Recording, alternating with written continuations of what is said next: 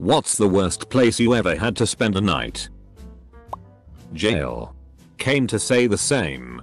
Although a close second is a bus terminal park bench after being turned away at the Canadian border. The Astrodome during Hurricane Rita. I got to take a sh in a trash can with an audience of dozens and that was one of the nicer parts of that week. Was around 14, drinking at the local park with my friends. They thought it funny to mix some benzos into my vodka, didn't know what that was then. So I didn't protest. Afternoon turned to night. I felt delirious. Soon realized I was absolutely alone. Aside from some druggies and hobos. The usual drunkard's GPS failed to lead me back home. It began to rain. And crawling underneath a bush I found what presumably was a foxhole. I was cold and rolled myself up into a ball at its entrance. Even though my mind was wiped. I couldn't sleep. My thoughts didn't make sense and were full of anxiety. One of the longest nights of my life. When I eventually emerged on all fours from the mouth of the dirt hole in the morning. A spider fell out of my hair. Crickets jumped around on my back. And I saw claw marks all over my calves and forearms. Maybe I had slept after all. A mental hospital. Especially when they have to come in every 10 minutes and shine a light into your eyes to make sure you're alive. Or when there are people screaming down the hall all night. Spent 2 months in one in 2018. I don't know how they expect you to get better when they keep you from getting good sleep, good food, fresh air, or any social connections whatsoever. I was there a week and felt like I was in a psychological thriller. The more angry and upset I got, the less likely I knew they'd be to let me out. It was like little torture. The beds were like rock and honestly it made me so much worse. I didn't trust mental health professionals for months after. I was there a week and I cried my eyes out once I got out because I felt like I escaped an actual horror film. I wasn't mistreated. It was just a horrible environment. In a tree. Had a rafting accident and the three of us ended up spending 18 hours, overnight, hanging onto tree branches in the middle of an overflowing river until we were rescued the next morning by the Swiftwater rescue team. We took turns sleeping as the other two grabbed on so we would not fall in. Picture us in no shoes. Shorts and t-shirts as the temp dropped down below 50 degrees that night. Made the front page of the local newspaper. Our 15 minutes of fame I guess. A friend's place. We weren't that close. It was high school and she just got back from hospital for mental problems. She was in and out the whole time I knew her. But she was happy to be out but also very lonely so I slept over. She lived in an apartment with her parents but the place was a wreck. Trash everywhere. Dirty dishes. But the worst of it was they didn't potty train their little dog so it would pee all over the kitchen and they would just put a paper towel over it. The kitchen was covered in paper towels no no. I tried to not go in the kitchen but I knew the urine was tracked everywhere. What really got me was when the dog stepped in her bowl of hamburger helper and she laughed and kept eating it anyway. COVID-ICU. The hospital staff was excellent. But all in all, I'd have rather avoided it. Excellent care. But almost died. 2 stroke 10 experience. Double quote. But for real. Glad you made it out. Trying to sleep on the floor of a moving bus with no pillows. I've done this many times. And it never gets any better. I've ridden a fair amount of Greyhound buses but the worst was 72 hours each direction, New Mexico to Maine and back, to visit a friend. I need to lay flat to sleep so the best I could get was sorta hunching over and catching brief naps lasting a few minutes each here and there. Hoping I could actually get some proper sleep that never came. The best I managed to do was getting on the next bus early and hogging the back seat so I could sorta lay down. Managed to get a couple hours that way. But I was a complete zombie by the end. A tent on top of a bald mountain top in the fall. During a torrential downpour. I had to sleep in about 4 inches of freezing water. Yeah. That's awful. I had a pretty similar experience camping in the Jemez Mountains in the fall. Above 10. 000 feet. Got a couple inches of water in my tent at one point. Mopped it as best as I could with dirty clothes and such. But I still got pretty soaked and froze my ass off. My feet were slightly blue when I woke up. So I spent the morning close to the fire and it took half the damn day to get rid of the chill. In 2007, after a 12 hour van ride that should have taken 3 delays due to bus riots, I crossed the Nepal-Indian border into Bihar, one of the poorest states. At 3am, we were immediately robbed. And, without any cash except for a $10 bill my buddy had in his shoe, the only place that would take our money was completely destitute. Upon opening the door, we were greeted by dozens of rats that had absolutely no fear of humans. They were on top of the broken TV, climbing the drapes, etc. We went to bed that night, defeated, knowing we'd be covered in rats. Used to live with a guy up in Hayden, Alabama. Mid-July and the AC goes out. It was supposed to rain all week with about 80% humidity coupled with 95 plus temperature outside. The house turned into a swamp. We opened all the windows and doors. Turned on every fan we could find and still it was just awful. The bedroom was so hot we couldn't use it so we slept on the couches which were so soaked by the end of the day that you could press your hand into it and your hand would come up wet. I slept in a hotel bathroom with wet toilet paper in my ears once when I was a stupid kid. I was sharing a room with my dad and my brother. Both of them were terrible snorers. My dad at least has a CPAP now and my brother's estranged. So two problems solved. I couldn't sleep. Couldn't handle the snoring. So I went in the bathroom. Wadded up some toilet paper. Wet it. Jammed it in my ears. And tried my best to get some sleep. Wouldn't recommend. Did some long term damage to one eardrum from a bit of toilet paper that was stuck on there for years afterward. Cabin at a camp in central Alaska. Got insanely cold and my sleeping bag wasn't cutting it. Tried to put like a foam sleeping pad on top of me not knowing that the sleeping bag let all my sweat out and it covered the foam pad completely soaking me. Which then pretty much froze. Absolute torture. For future reference, it's more effective to put things underneath you than on top of you. Foam pad under you. Never over. Layers under instead of on top and you'll find you're much warmer. Source. Frequent camper who was insane enough to camp in snow. IA. An apartment in Midtown. Manhattan. I should have figured that the prices they were offering were incredibly low for a place one minute away from Bryant Park. But I still booked it anyway for 4 nights. It smelled terribly. It didn't feel safe. The whole building felt like it was still being built. Only one of the elevators was actually, barely, functioning. The bathroom door didn't fully open because the sink was on the way and my GF at the time didn't believe it. But I'm pretty sure that even the floor was a bit crooked. A couple of weeks after returning home I searched for the place on booking and it was gone. Upon further research I found out that it was actually closed because it infringed a bunch of safety rules in New York City. The worst was getting locked inside the organ blower room. I was resting on the sexton sofa in that room late in the afternoon. Having a nap before choir rehearsals later in the day day. The sexton unwittingly locked me in the room, a deadbolt on the door, before he went home for the day. So there I was, just the organ blower and me, the balcony at my best friend's party one night. Got drunk and decided to black out at the wooden bench while it was raining. Got sick the next day. I've slept outside. On the beach. In the airport. In extremely uncomfortable tiny Asian bus seats. But the worst was in an open air homestay in remote Vietnam. Like a little wood room. But that walls don't go all the way up and there are holes in the walls too. That in itself was totally fine. You get used to the hard beds after a while. And it's better than a cheap hostel dorm. The problem was the group of old men staying up the whole night drinking and chain smoking directly outside my door completely filling my room with heavy smoke the entire night. I'm good in a smoky bar for a few hours.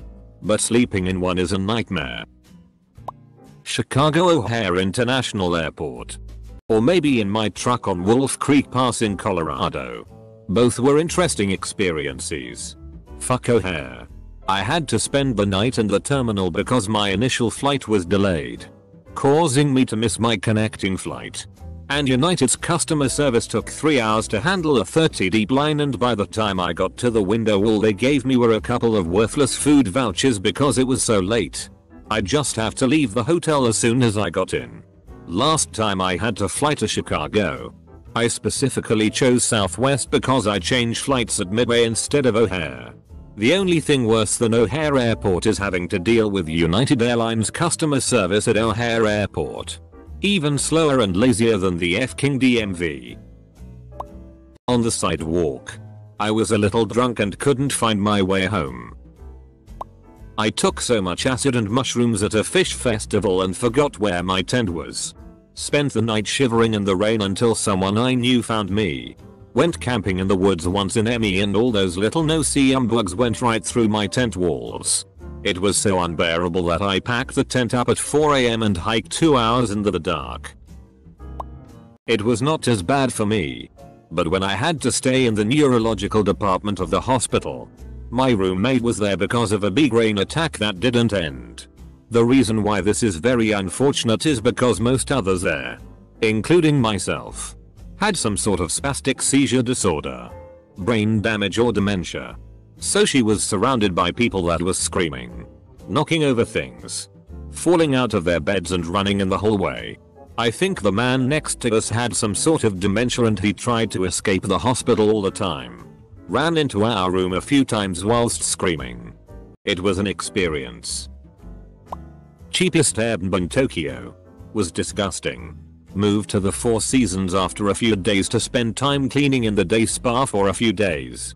Slept drunk on a small mat in the spa of a cheap capsule hotel there. I was told that it was full and that reservations don't matter. But I could pay less to go to the spa. It was after 12 and I was drunk so I went to the spa and found a large room completely filled with Japanese men still wearing their suits all sleeping on mats inches from each other. Grabbed a mat by the door and found a little spot in between a bunch of guys. At least I wasn't outside in the cold behavioral ward the night after I attempted suicide. Pills and booze. Would have succeeded if not for a friendly police officer who broke department protocol. I went on a Galapagos cruise in a small boat that had 8 passengers. You would think this was the best way to go. However, there were cockroaches in the beds and the ship got tossed around like a rubber ducky in the waves. So bad that some of the passengers put their life jackets on. It wasn't good. The Galapagos Islands were awesome though. A homeless shelter in San Francisco that made you sit in an uncomfortable metal chair at a table to sleep if you didn't have a bed. I would have rather slept on the floor or even outdoors than do that again. By morning my back was so sore I could hardly move. I have slept rough in a lot of places over my life. Even been homeless for a brief period in my early 20s. But I'd say my answer is any given night in the house I grew up in. Double quote. Yeah. Have also been homeless. And I would sometimes sleep in the woods behind the house when I was a kid so my dad wouldn't find me when he came home at night. I can't even say it was that bad. Because being in the house was worse. A hoarder's house when I was 10. The amount of dead, small animals I saw and smelled was crazy. We thankfully stayed at a motel the next night. That was the beginning of me becoming a germaphobe. I had a boat charter to drop me off on a small island and was scheduled to pick us up the next day. As it turns out, we weren't able to get off the beach onto the actual island because of a razor sharp barnacle wall surrounding the whole area. So we were trapped on a sandbar until the next morning. So unfortunately, as night fell, the tide started rising and only a tiny sliver of the sandbar stayed above sea level. The ground was soaking wet and sopped through the tent we were sleeping in. But to add insult to injury, turns out the sandbar was also a huge horseshoe crab mating ground. So the entire island was swarmed by HRNY horseshoe crabs. So the rest of the night we basically were wet, cold, and being swarmed by horseshoe crabs f-king against our tent. Truly one of my worst nights. The ER on a Friday night after a failed suicide attempt in 2017. If you think ERs are bad as it is, wait until it's a Friday night full of drunks and drugged out people mixed with old dying people. It's a wild sight and sound. My family of six and our Belgian Malinois slept in a Kia Sorento because my in-laws kicked us out. We just moved to Texas from Ohio and it was miserable. Some crummy motel in Montana. We had started a road trip and I couple tell I was the only person of color to come through that place for years probably. The maintenance guy followed me into my room and gave me some story about checking to see if the cable was working. Other staff and guests were sizing me up. I triple locked my door and the window. And I slept with my pocket knife under my pillow that night. Our own house after a hurricane knocked out the power to the whole area for 5 days in the middle of a Florida summer and there was no AC. Not even a fan to move the hot dense air around. It was impossible to get any sleep since it was so humid and miserable. For those of you not familiar, air conditioning in Florida is not a luxury. It's a vital requirement to live just as much as food, water, and oxygen to breathe. A hostel in Pattaya with a group of old Essex tourist men. I'm a woman in my mid 20s. One of whom was half naked when I entered the room. We had a bit of your usual traveler small talk and after I told him I'm German he told me Heil Hitler, still in his underpants. Only time in my life I've changed from a mixed dorm to a women's. I'd been told stories about how gross Pattaya is but I was not ready for how much so. Got pretty shit faced my buddy brought girls home from the bar so I dipped BC I had a GF. I Ubered home to my apt at 4am found out I didn't have my keys of course.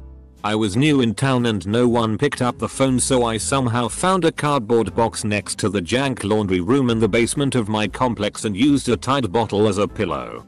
It was actually surprising comfy BC it was warm down there. I slept for a couple hours until my buddy woke up early thank god and picked me up. I cursed I'd never drink again but we know how that goes. A tent in rural Cambodia. Next to a river. The site had lamps set up by the tents. One of which was almost directly above mine. I could see thousands of mosquitoes attracted to the light through the mesh area at the top of my tent. And hundreds crawling on the outside of the tent itself. I went around my tent multiple times ensuring every single zip was shut as tight as possible wiping as much of the inside surface as I possibly could with repellent wipes. And still. Somehow. Mosquitoes kept managing to find their way in, one every few minutes. I had already had two almost sleepless nights at this point. So if it wasn't for complete physical exhaustion there's no way I would have managed to get the 20 minutes of sleep I eventually managed just before 05. 00 in the morning. Went to YMCA camp when I was 12 at Catalina Island. In the middle of the first night, feral hogs came trampling through and destroyed the tent I was in and I got stomped on. At least tusks didn't get me. My tent got rained out on a trip so I had to ask someone I didn't know if I could bunk with them. On top of the awkwardness. I didn't have a sleeping bag because it was soaked. Not a very fun time stuck on Maroon Pass in Colorado. Near the top of the pass in a one-man tent with no rain fly in the snow with two other guys nut about all night trying not to freeze to death because our party we were to meet couldn't make it over the pass because they got stuck in the snow outside of Crested Butte. Or last weekend sleeping in the dirt with no shelter freezing my ass off deep into Teapot Dome. Next to my drunk ass hunting partner snoring his ass off so loud it sounded like bears in the camp. Or the Denver drunk tank. Visited my grandma during the festival and all rooms were taken. We couldn't even merge two sofa chairs and use as a bed, was a kid back then, so me and my brother had to go to my grandma's cousin who's a hoarder. She had a folding bed in this room she probably didn't open in 5 years. So much dust everywhere. She opened the window for me and my brother and put clean sheets. I didn't sleep a wink all night as mice kept running over my feet and right in front of my face on the edge of the bed. It was the worst thing ever.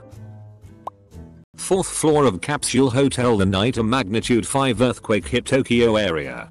Nothing collapsed or anything. But I'm from Australia. So it was very weird. And it made me extremely nervous. I was probably 16. In one of those cheap hotels known for a place of quick sex. We attended funeral and there was no other choices of accommodation than this one. The worst part is that I went with my mother. Her same age male friend and his daughter. We occupy different rooms.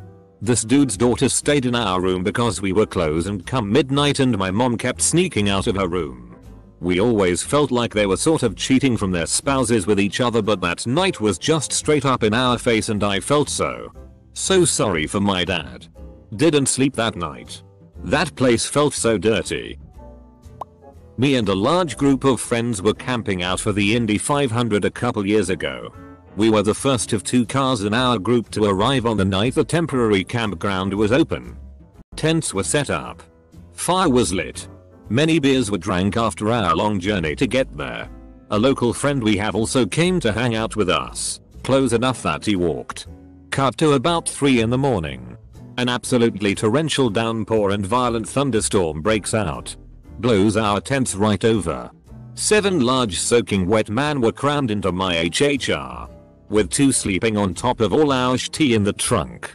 Additionally, the second car was also completely full, with our local friends sleeping in the bed of the truck, without us knowing. Cut to my friend waking up for a morning piss. Seeing the open tailgate. And our now locked in friends waking up the camp to be set free. I love Indy but FCK me sometimes it isn't very accommodating. When I was 14, my whole extended family was on vacation. And there was one night where all the adults went drinking. Since I was old enough to stay up with them but not drink. I went to bed when everybody else left. Because I'm the youngest of three. I got the pull-out cot in our hotel room. While my parents and two older sisters shared the other two queen beds in the room. My drunk uncle crashed our room that night and shared the cot with me. To make things worse, I was under the sheets and he was sleeping on top of the sheets on his side of the cot. Meaning I couldn't pull them off of myself to get out. So I spent the night cramped in between my drunk uncle, the edge of my parents' bed and trapped under bed sheets and couldn't escape. A good story though. My friend's house for a sleepover.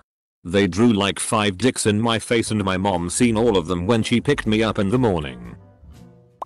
Psychiatric ER. Went for a panic attack that wouldn't quit. It was 20 degrees out and our city has a policy that homeless people can either go to jail or the ER if they refuse to check in at the shelter. On top of that, our state prison was banned from operating their psych ward to so those prisoners were sent there as well. After being strip searched in front of six male guards, I was put back in the waiting area. Until one of the other patients lunged at me and threatened me. Since they were at capacity.